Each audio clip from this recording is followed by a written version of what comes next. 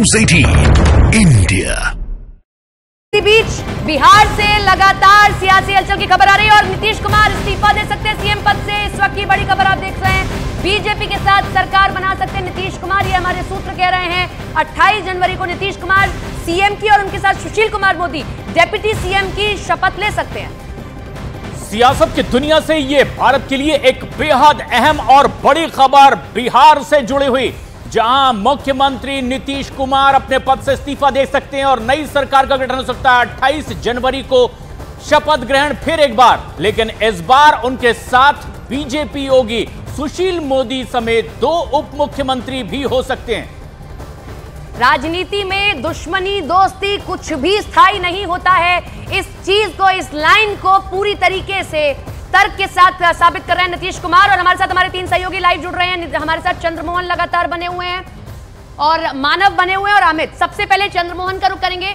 चंद्रमोहन, आपने भी सोचा था जब पिछली बार शपथ ग्रहण समारोह कवर कर रहे थे कि दोबारा इस बार मौका मिल जाएगा। नीतीश कुमार ही सीएम रहेंगे, लेकिन सुशील कुमार मोदी हो जाएँगे डेप्टी सीएम बिल्कुल, देखिए, ये कोई नहीं सोचा था, लेकिन राजनीतिक संभावनाओं का खेल है और उसी संभावनाओं के तहत नीतीश कुमार ने एक बार फिर से अपनी नई जो है रास्ता वो तलाश की है। 28 तारीख को जेडीयू का एक कार्यक्रम होना था, वो रद्द कर दिया गया है।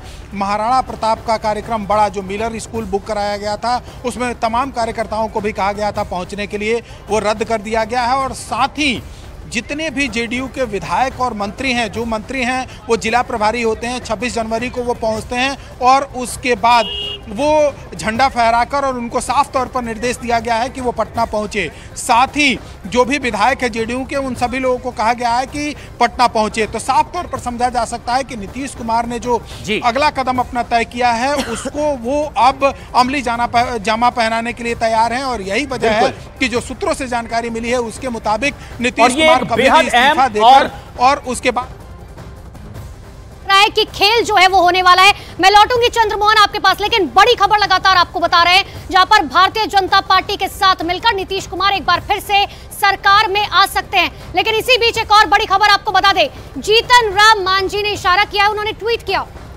उन्होंने कहा कि आज ही, उनकी तरफ़ से कहा गया कि आज ही खेला हो जाएगा। समझा जा सकता है कि उनका इशारा है कि आज ही नीतीश कुमार इस्तीफा दे सकते हैं।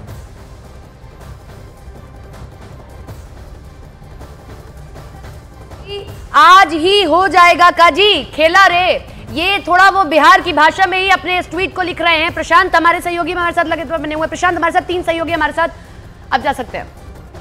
और चंद्रमोहन हमारे सहयोगी लगातार बने हुए हैं। चंद्रमोहन, जीतन राम मांझी का ये ट्वीट कि आज ही हो जाएगा खेला। क्या आज ही एक बड़ा फैसला बिहार में होने जा रहा है? बिल्कुल, देखिए, आज सुबह में ही जीतन राम मांझी से मेरी बात हुई है और सधे हुए वो राजनेता हैं। इससे पहले मुख्यमंत्री भी रह चुके हैं और अगर इस तरह की बात वो ट्वीट पर कर रहे हैं तो साफ़ तौर पर इशारा समझा जा सकता है क्योंकि एनडीए गठबंधन के वो भी एक घटक दल हैं। उनके पास चार विधायक हैं तो साफ़ तौर पर कहीं ना कहीं उनका जो ट्वीट है ये इशारा कर रहा है। पास बड़ी खबर इस बीच आ रही है वो अपने दर्शकों को बता दें जेडीयू ने अपने सभी कार्यक्रम रद्द कर दिए हैं आगे के और अपने सभी विधायकों को पटना वापस बुलाया है। बिहार में हर बदलते समय के साथ घटनाक्रम बहुत तेज़ी से आगे बढ़ रहा है और जेडीयू ने अपने विधायकों को पटना बुला लिया है अपने आगे के सभी कार्यक्रम रद्द कर दिए हैं। संकेत मिलने शुरू हो गए जो जीतन राम मांझी अपने ट्वीट में ज़िक्र कर रहे हैं। और यह बेहद अहम तेज़ी से बनता बिगड़ता सियासी घटनाक्रम बिहार में। और जेडीयू जो सत्ता में है, नीतीश कुमार ने अपने तमाम विधायकों को पटना बुला लिया है। प्रदेश में जहाँ जहाँ पर भी कार्यक्रम है, वो वापस पटना लौटे। चंद्रमोहन, जेडीयू की ओर से अपने विधायकों को पटना बुलाया जाना, किस तरह के संकेत? क्या आज और होने वाला है? वजह क्या बताई गई?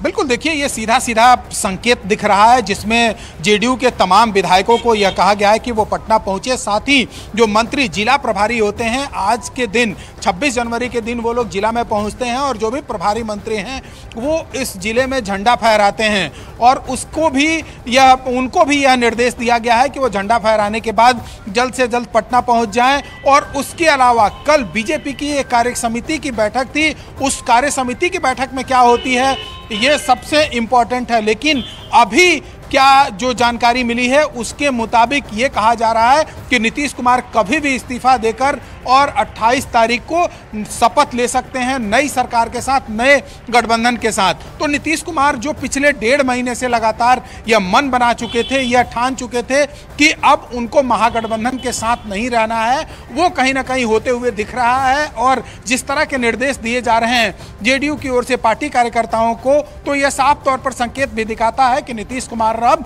महागठबंधन को छोड़ने का मन बना चुके हैं। यही वजह है कि 28 तारीख को महाराणा प्रताप के नाम पर एक बड़ा कार्यक्रम पटना के मिलर ग्राउंड में आयोजित किया गया था जिसको रद्द कर दिया गया है और तमाम जो कार्यकर्ता हैं उनको फ़ोन करके ये कहा जा रहा है कि 28 तारीख को पटना पहुँचने की ज़रूरत नहीं है जो कार्यकर्ता महाराणा प्रताप के कार्यक्रम में पहुँचने वाले थे। तो कहीं ना कहीं ये साफ़ तौर पर और ये एक खास तस्वीर भी है हम जो दिखा भी रहे हैं इस वक्त दर्शकों को न्यूज़ एटीन इंडिया पर गणतंत्र दिवस समारोह में मुख्यमंत्री और उप मुख्यमंत्री के बीच अब दूरी कुछ क्या बढ़ गई है? एक खाली चेयर यहाँ पर रखी हुई है।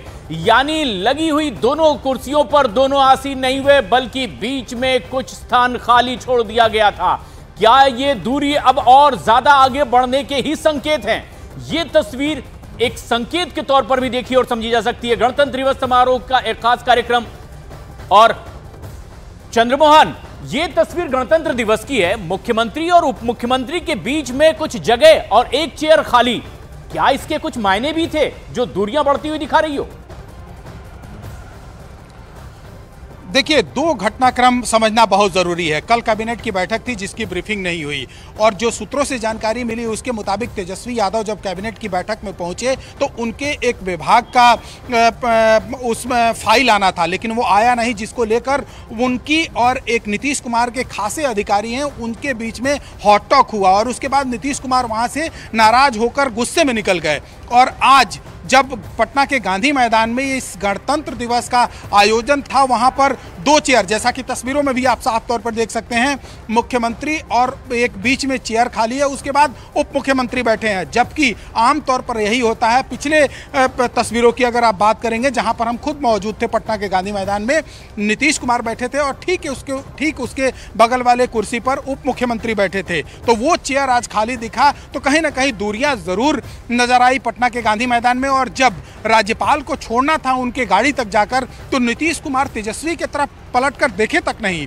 जो साफ़ तौर पर यह बयां कर रहा है कि जो दूरी थी, वो खाई में तब्दील हो चुका है और नीतीश कुमार ने यह मन बना लिया है कि महागठबंधन में और खास तौर पर जो बिहार में अभी सरकार चल रही है, जिसके गठबंधन के मुख्यमंत्री नीतीश कुमार हैं, उनके साथ नहीं रहना है। और यही वजह है कि आज जो खाली चेयर दिखाई दिया, इसका साफ़ संकेत और कल जो कैबिनेट की बैठक थी उसमें हॉट टॉक होना नीतीश कुमार के खासे अधिकारी से जो करीबी अधिकारी हैं उनके साथ और नीतीश कुमार का गुस्सा होकर बाहर निकलना कहीं ना कहीं यह ज़ाहिर कर रहा है कि नीतीश कुमार ने अब मन बना लिया है कि इस गठबंधन में इस सरकार में नहीं रहना है। बिल्कुल चंद्रमोहन, लेकिन 2017 में जिस वक्त अलग हुए थे नीतीश कुमार, उस वक्त उन्होंने साफ़ तौर पर वजह बताई थी, लेकिन इस बार की वजह क्या होगी, ये देखने वाली बात होगी। लौटेंगे चंद्रमोहन आपके पास, लेकिन बिहार के सूत्रों के हवाले से बहुत बड़ी खबर आपको बता दें, नीतीश कुमार इस्तीफा दे सकते हैं और भारतीय जनता पार्टी के साथ सरकार बना सकते हैं। अट्ठाईस जनवरी को नीतीश कुमार शपथ ग्रहण समारोह भी कर सकते हैं। एक और बड़ी खबर सूत्रों के हवाले से बता दें, जहाँ पर बीजेपी सूत्रों के मुताबिक अगर जेडीयू बीजेपी के साथ आती है तो नीतीश कुमार ही सीएम बने रहेंगे। लेकिन बीजेपी ने पूरा फॉर्मूला तय कर लिया है। नीतीश कुमार मुख्यमंत्री बने रहेंगे, जबकि उप मुख्यमंत्री बीजेपी से होंगे। बीजेपी से दो उप मुख्यमंत्री हो सकते हैं, जैसा कि चंद्रमोहन बता रहे हैं कि सुशील कुमार मोदी जो है, वो हो सकते हैं। और ज़्यादा जानकारी के लिए हमारे सहयोगी अमित लगातार हमारे साथ लाइव बने हुए हैं। अमित देखिए 2017 में जिस वक्त नीतीश कुमार अलग हुए थे उस वक्त उन्होंने साफ़ तौर पर कहा था कि लालू यादव के ऊपर जो है भ्रष्टाचार के कई आरोप लगे हैं जिसकी वजह से सरकार की जो इमेज है वो असहज हो रही है। लेकिन अब अगर बात करें तलखी की शुरुआत कहाँ से हुई? आखिर वजह आप क्या देंगे नीतीश कुमार?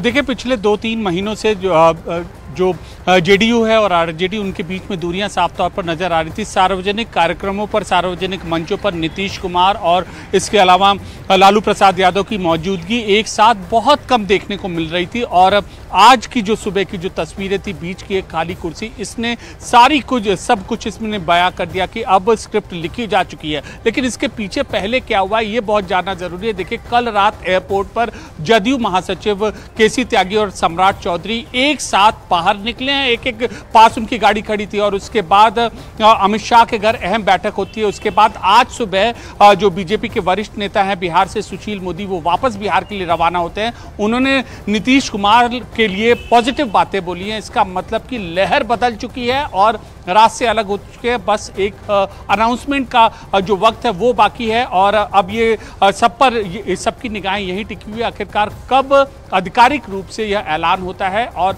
कितने लोग जाते हैं? साथ नीतीश कुमार के साथ जाते हैं। जी।